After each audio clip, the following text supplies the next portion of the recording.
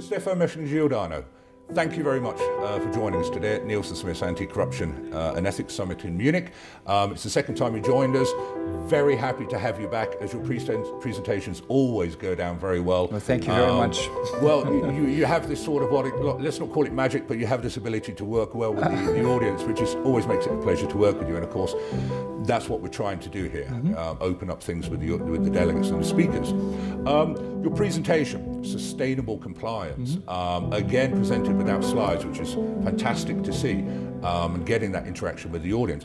What are the key points of that presentation you would like the delegates to take away with them?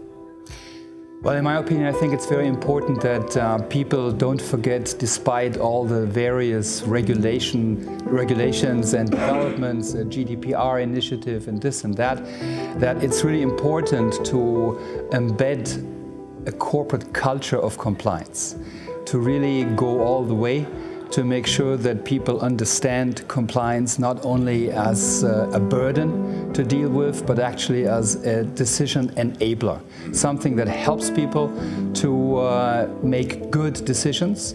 And I think it's very important, and if people take that away from my presentation, I would be very pleased that uh, there is a positive notion to compliance, which sometimes you have to find, but to bring that to people, to touch their hearts and minds within the organization, I think that goes a long way and pays off. Mm -hmm. Yeah, yeah. And I like that it ties very much into um, Alexander Meyer's presentation yesterday yes, morning indeed. from Ingram yeah. Micro, the CEO yeah. uh, Germany of Ingram Micro, who presented. And it, it's great, I, I, think, to see that. Mm -hmm the CEOs coming to this sort of event and right. joining us, and, and yeah. the message is yeah. there, and, and, it's exactly which makes the these events also a great opportunity. Uh, Excellent, and that's what we're trying yeah. to do. It, it is difficult to get CEOs yes. down to them, so Absolutely. we're very happy with that.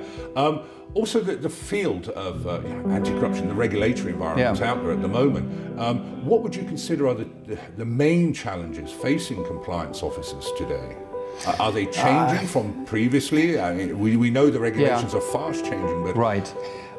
Personally, I believe that yes, of course, there is lots of change going on, and that won't stop. And obviously, you need to keep uh, up up to speed with that.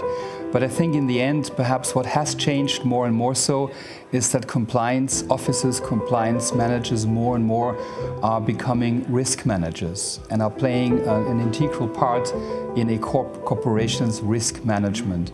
And I think that's, that's a positive thing, and that actually also highlights what I said earlier. It's not only about the, the downsides of compliance, the burden, the work that it takes, but it also it's an opportunity to mitigate risk and in the end to benefit the organization. So I think uh, it's important not to lose sight of that despite of everything else that's going on and that you obviously have to be aware of.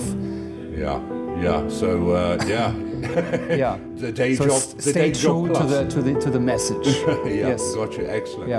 Um, and, and that kind of leaves me on the, the, the, this conference, this summit mm -hmm. uh, we have down here again, like I mentioned earlier, it is uh, the second yeah. time you joined us, and thank you so much for doing that. You know, we're learning, we're growing as we move on.